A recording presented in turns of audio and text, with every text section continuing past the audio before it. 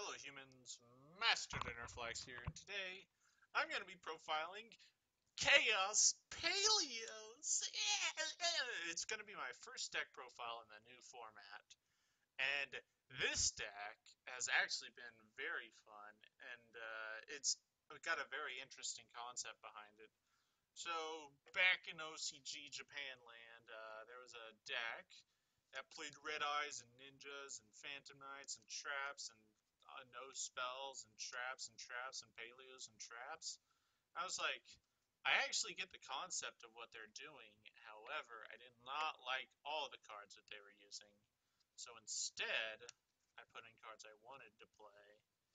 And this is pretty much what it came out to be. I'll explain all the cards, um, but let's get into it.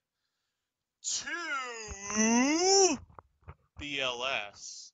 Um, Black's Luster Soldier Envoy at the beginning. I'm not even going to explain how good this is. It has a natural effect that cannot be power crept in the game because you cannot creep 8,000 damage. Um, Raiden, Hand of the Lightsworn. Uh, it's a Lightsworn name and a Light Warrior, and it mills your deck, which is all very, very good.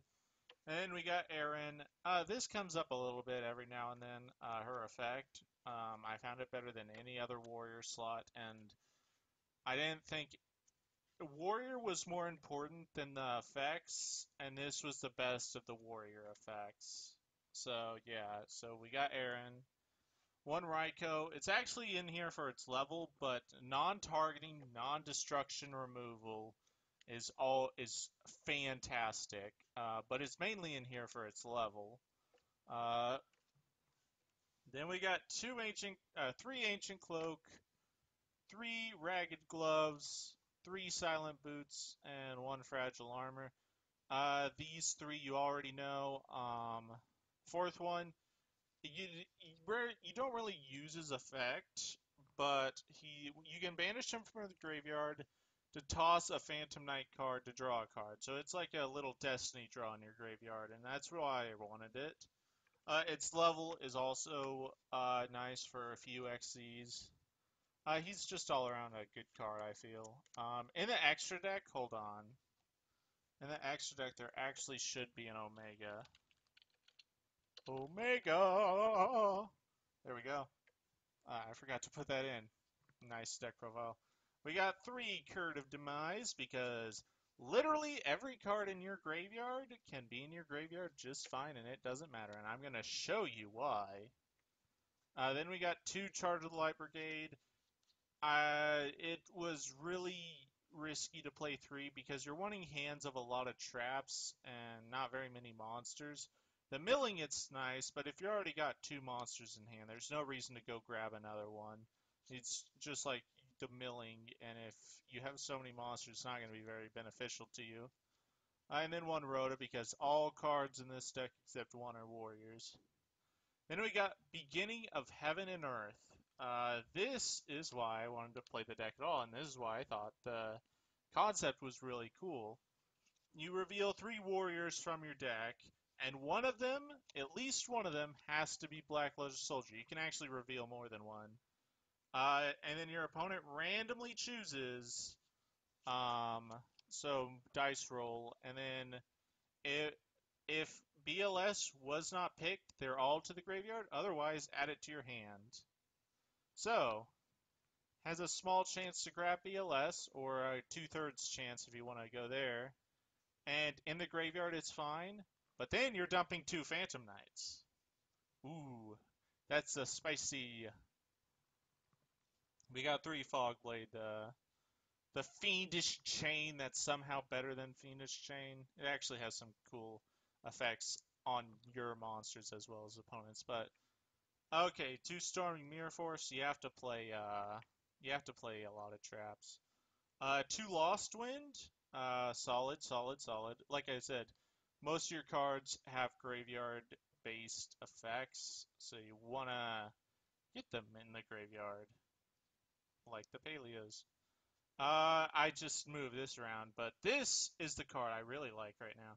When an opponent's monster declares an attack, negate the attack. Oh, it's negate attack. Then special summon this as an effect monster and not a trap card. Uh, it's a level 2. Uh, it has no stats, so it can get ran over by anything.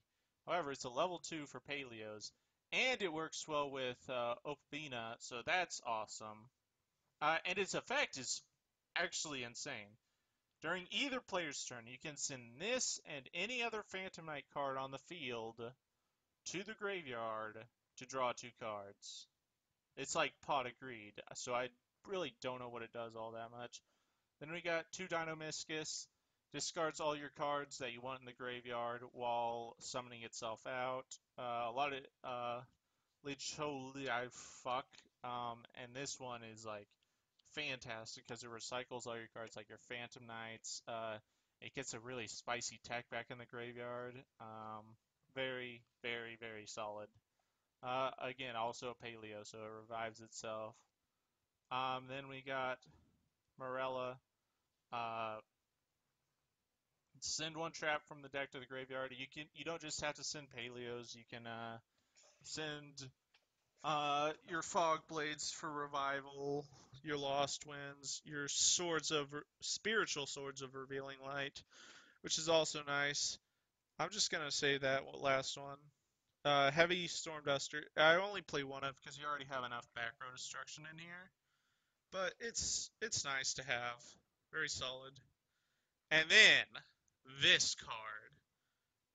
Um, you can ignore all of this.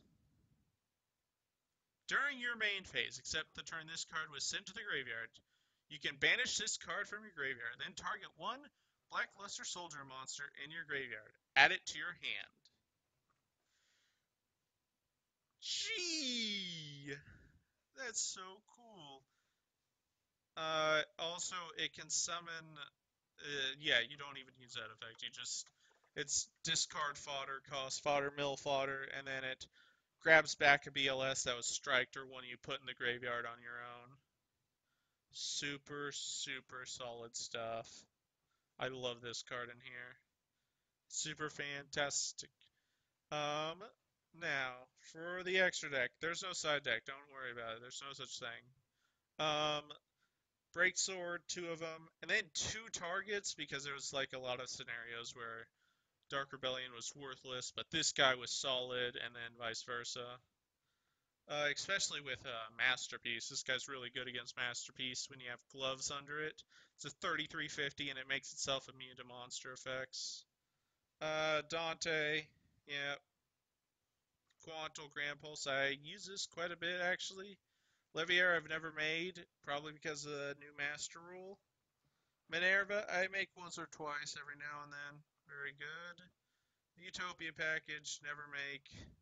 Two Opabinia, probably the best, no, one of the best XCs in here. Uh, just searching and then activating, it's nice. It's very nice. Uh, Curse Javelin, which you can actually play, um, because this guy's a level 2. So, nice. You can use this guy and then a paleo to make. Um, you'll detach him at last, but you can detach like the paleo and then have its effect be spell speed too, which is nice. Decode Talker, garbage. And then uh, Cyframe Lord Omega, which I just put in, and you, you didn't see me put it in. Yep, that's pretty much it. Uh, thank you all for watching. This has been a fun deck. I'm actually a really big fan of the format. I know Zoo isn't completely dead, and I know uh, Mass. Uh, I know True Draco is still going to be one of the best, but they went from the thing about True Draco is they went from a deck that literally you couldn't play against to a deck that cannot sustain itself without demise. To put that into terms, they effectively have the same win condition as uh, barrier statues and they play just as well as them. I don't think I've lost uh, and rated to uh, True Draco yet. They just fall flat when you stop them, and it's easy to stop them now. And Zoo is not even a real deck; it's an engine, and it sometimes works uh, if you have if your opponent has absolutely no disruption. So thank you all for watching, and remember, Master Dinnerflax will take your soul. Ten minute mark. ad revenue.